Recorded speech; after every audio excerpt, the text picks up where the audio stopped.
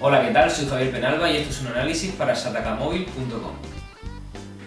Si alguna vez has visto en el aeropuerto a alguien con un portátil y una cosa parecida a esta blanca colgando, no te asustes. Lo único que está haciendo es conectarse a internet desde cualquier sitio. Lo hace gracias a una tecnología denominada 3G o HSPA, que nos permite, bien a través de un móvil o bien a través de uno de estos módems que se conectan al puerto USB del ordenador, tener internet allá donde queramos. Hasta ahora Vodafone tenía un modem estrella, este que ves aquí blanco, que se conecta por USB y que es el modelo E270. En breve la compañía sacará al mercado este otro, el E272, que es mucho más delgado y menos pesado, apenas 20 gramos. La conexión se realiza exactamente igual.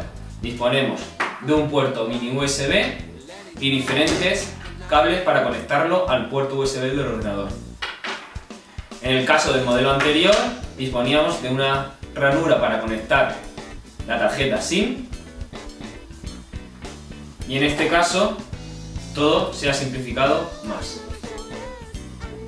El nuevo modem también es HSDPA, lo que nos permite obtener velocidades de conexión a internet incluso más altas que las del ADSL normal de nuestras casas.